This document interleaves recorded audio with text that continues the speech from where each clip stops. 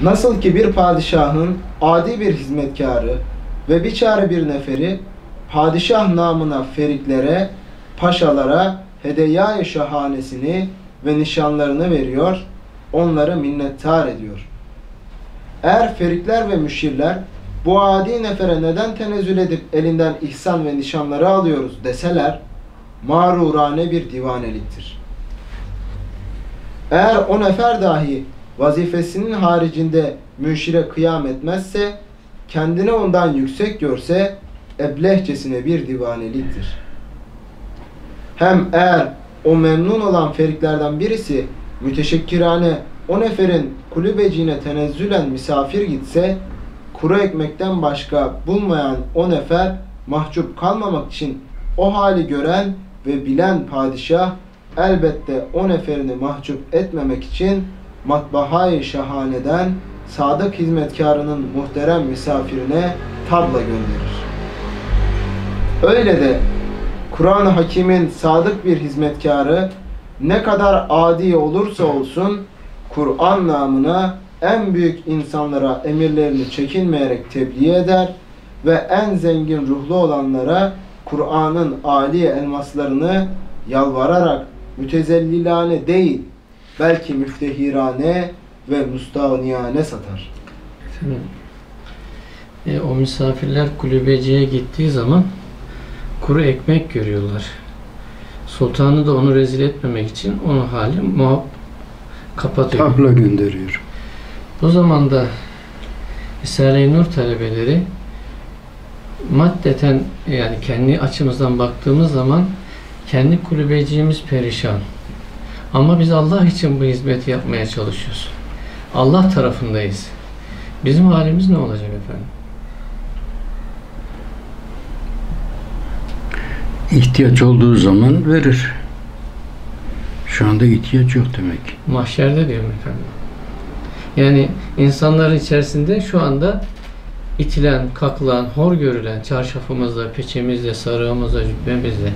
Ama mahşere çıktığımız zaman, huzur ilahi çıktığımız zaman herkes bizim Bir halimiz. şeyi de, bir şeyi de ecri alacaksın. Bir şehidin ecri peygamberlerle şehitlerin arasındaki makam farkı bu iki parmak arasındaki makam farkı kadardır. Bir şehit. Şu kadar. O kadar yüksek şehitlik. Sen onlardan yüz şehidin ecrini alacaksın. İtilmenin, kahrolmanın mükafatı ahirette odur. Sabretmek lazım.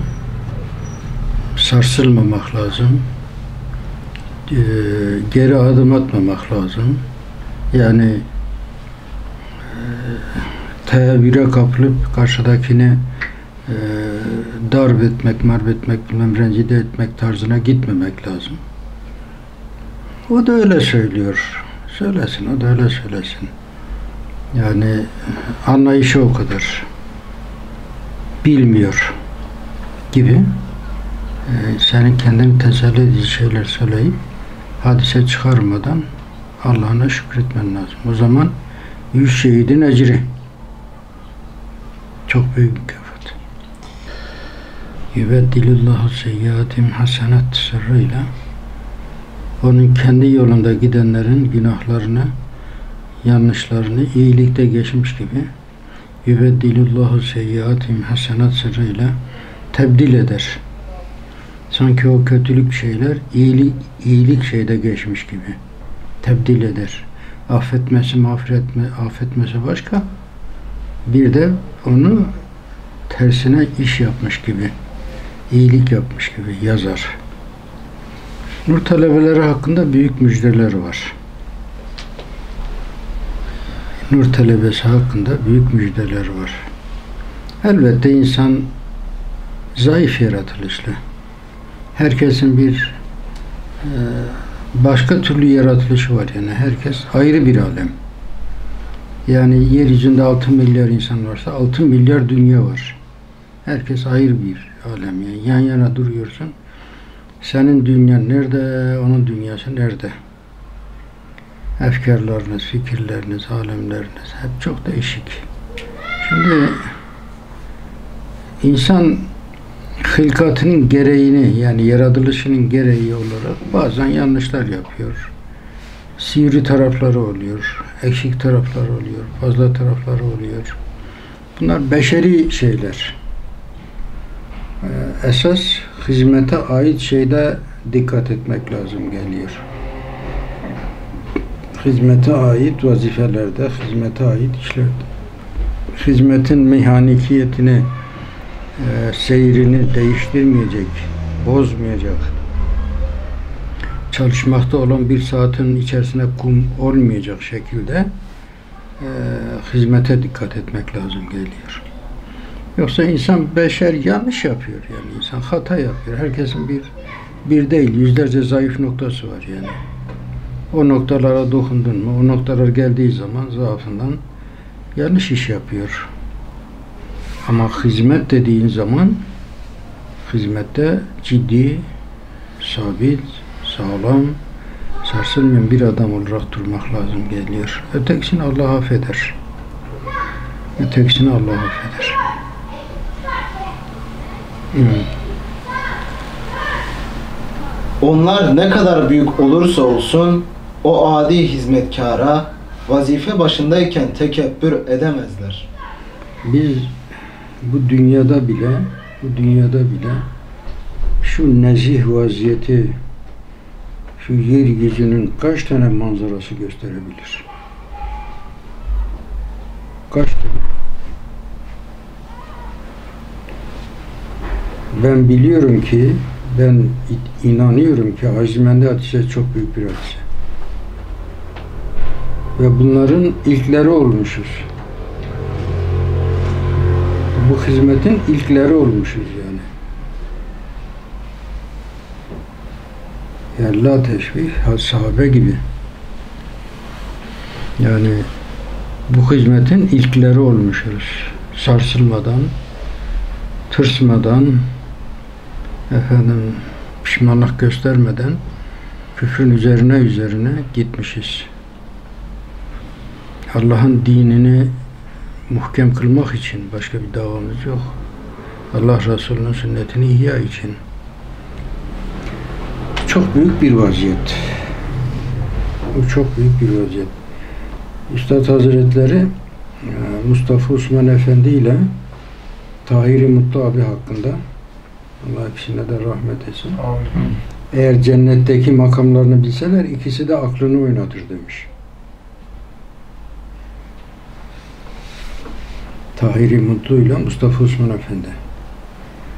Eğer bunlar cennetteki makamlarını bilseler, görseler akıllarını oynatırlar demiş.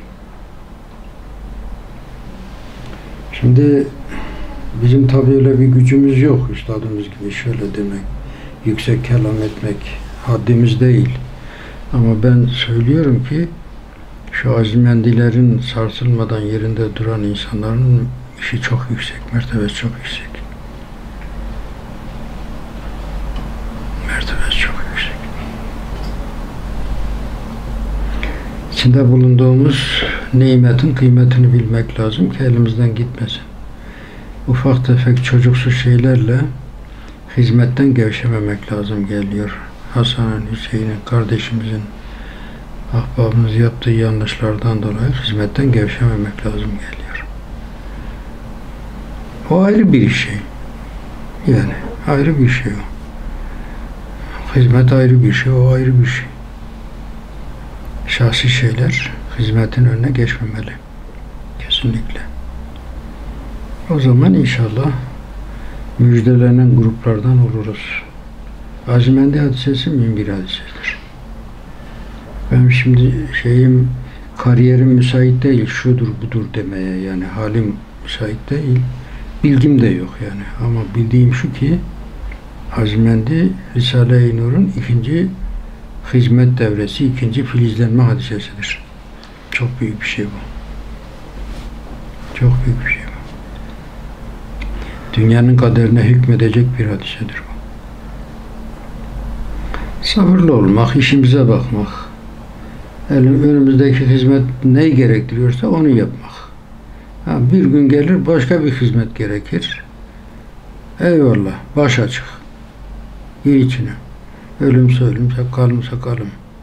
Aynen birinci hizmeti tamamlamadaki şey gibi, kuvve-i velayetle ortaya atılma gibi yine öyle şeyler olur.